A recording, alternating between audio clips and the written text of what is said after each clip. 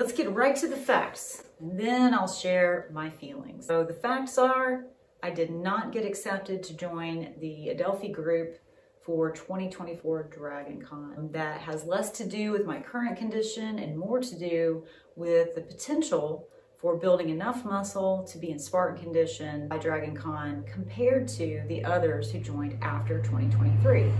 Young women with just, you know, more foundational muscle than I currently have uh, joined the group. I wasn't the only one cut, but you know, I wasn't among the top 10. But I was also told that my progress is evident and that I should try out again next year. That's another video, another conversation. We'll see about that.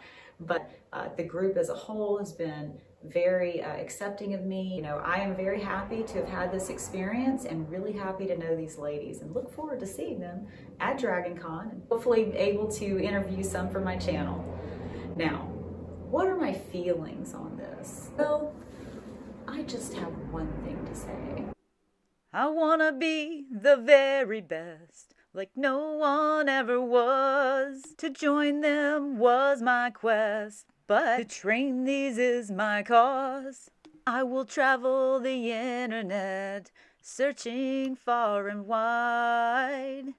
Teach all of you to understand the power that's inside.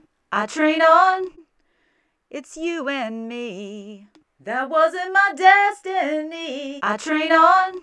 In preparation, you're my best friend. And Dragon Con, I will attend. I train on. I'll see this through. My drive is now brand new.